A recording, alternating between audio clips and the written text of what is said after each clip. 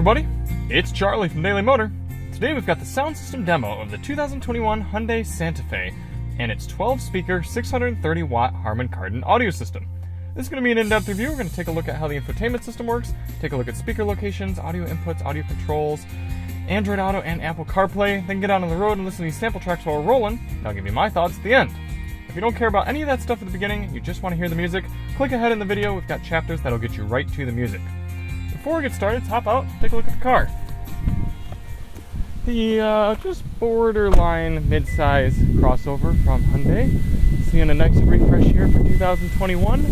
This isn't the very top level calligraphy trim, which gives you some even nicer leather, some more unique looks, but this limited trim has got quite a lot going for it as well, and this is a hybrid model, which makes it quite economical. So if you want to see more on the Santa Fe, check the links in the description. See those. And we always do these tests with lossless, uncompressed WAV audio files on a USB stick plugged directly into the system, and high quality binaural microphones in both of my ears, giving you the most realistic audio system demo on YouTube. We also do the test with the sound settings set to their factory defaults, so let's take a look at those now. Nice standard Hyundai infotainment system here. It works very well. It's a little dated looking, but it's effective. So we've got our media screen here, but you can see we can also go home. You got all your different apps, kind of a home screen, if you will. Let's go into setup, sound. First thing you got is this Quantum Logic Surround Premium sound option. I'm gonna leave that on for now, but we'll actually we'll toggle it on and off, and we'll leave it on for the test.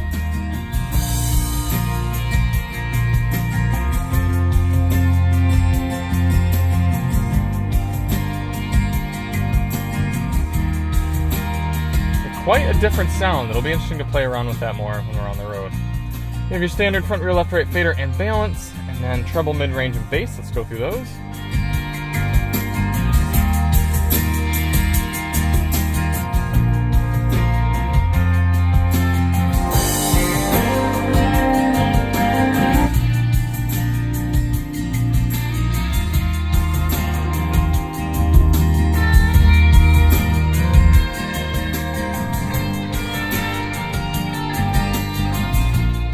And below that, you have a few different random volume settings for navigation and guidance, things like that. For audio controls in the Santa you've got a really nice volume knob, very easy to grab, nice clicks. Then you've got a volume rocker on the left side of the wheel. For track selection, you can either use this seek and track button, you can use the touch screen if you're on the media screen, and use this roller knob for various track selection abilities, and then you've got a rocker the left side of the steering wheel right by the volume control. For audio inputs, you have your standard AM, FM, Sirius XM satellite radio, Bluetooth, USB A, which is surprising not to see any USB C ports, so just one USB A up here. Unless there's one, is there one hiding down there? Well, there is a USB port, but I don't think it does data. So you just got the one USB A, Android Auto and Apple CarPlay, but you do have wireless capability for both of those as well, so that's nice to see. And that is it. So what does that mean you're missing? Well, no disc player, no 3.5 millimeter auxiliary input jack, and like I said, no, SU, no USB Type C, which is a bit of a shame here in 2021. Speaker locations. Like I said, this is a 12 speaker system. Starting in the bottom left, we've got one, two, three, four, five. And then the best I could find is that these rear speakers are actually doubled. So you've got six, seven, eight, nine, and coming into the trunk.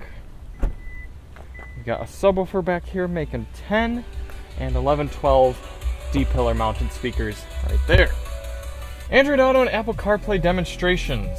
Start out with Android Auto. Now it does seem like I do have to plug in the device to get it to start doing Android Auto. Doesn't seem to be a way to pair it wirelessly at this time. So we're going to have to stop the music because there's only one USB port. Plug in the device. And then we're prompted with an Android Auto message. And there we go, Android Auto. It does this kind of smaller three-quarter screen deal, but you've got your uh, music right there, main home screen, Waze, everything's decently responsive. There's your settings screen. Okay, let's try out CarPlay. There we go. Takes up the same size of screen. Got your home screen there. Music. Settings. All looks good and responds nicely. All right, let's get the tunes going again and get on the road.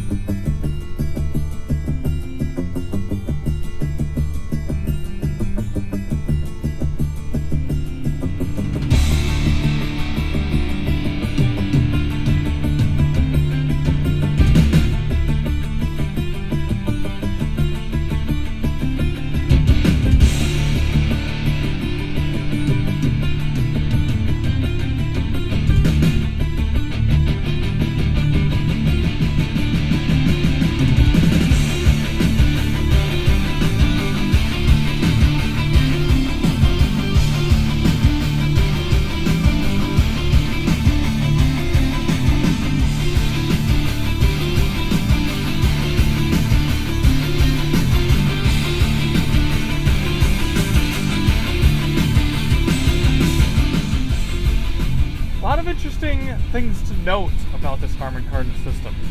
The only thing it's really missing in order to elevate it up to that next level would be an absence of noise. So what's happening is each of those drum hits or uh, those, those notes that are coming through, the really upscale systems make the sound and then get out of the way. The absence of sound, the silence is just as important as the sound itself. This comes through a little too strong in the mid ranges, and then there's an echo, a hollowness afterward. So the speakers aren't really good at, at making the sound and then stopping vibrating, getting out of the way. But overall, the balance is pretty good. I'm getting a decent amount of lower end power and some good high ends as well. So, perfectly acceptable system. Now, if this were in a luxury car, we'd be having a little bit more of a complaint, but in this setting, pretty darn good. This next one, let's turn the bass all the way up, see how that sounds.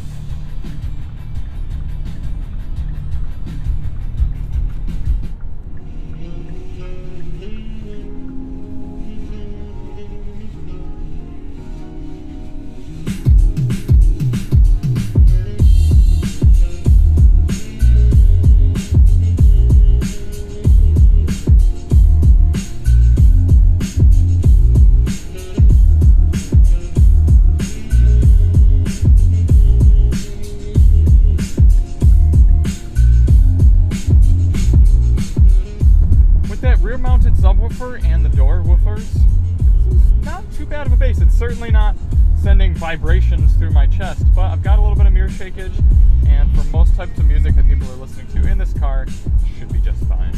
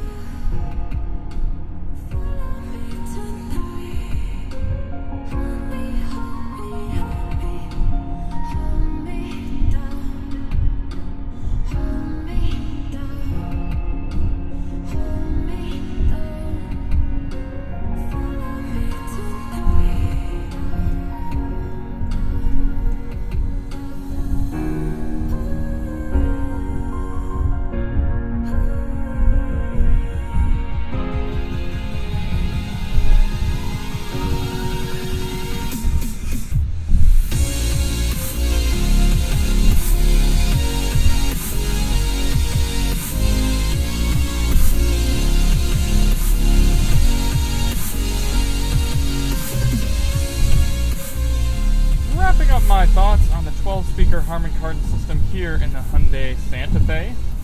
Perfectly acceptable for a premium audio system offering on a vehicle like this. We're talking about $41,000, $42,000 for this trim. I mean, yeah, if you're spending a little bit more getting the calligraphy, maybe you'd be a little bit more disappointed, but this is perfectly fine. Objectively speaking, we'd be talking about a B tier system. Sound quality's there. It's not really impressing with any super crispness, super power, but there's nothing egregious, and overall, for many different types of music, it's going to sound good. On top of that, you got wireless Apple CarPlay, Android Auto. That, excuse me. That being said, I would like to see a faster infotainment system. Every single click has a little bit of delay, even when you're just pressing the buttons everything takes a, a little second. And all those little micro stutters just adds up to make it feel like not that much of a premium system. And I mean, at the end of the day, this is not like this is a premium brand, but Hyundai could do a little bit better. Either better processor, or different formatting, something like that to improve that. That should be their next step.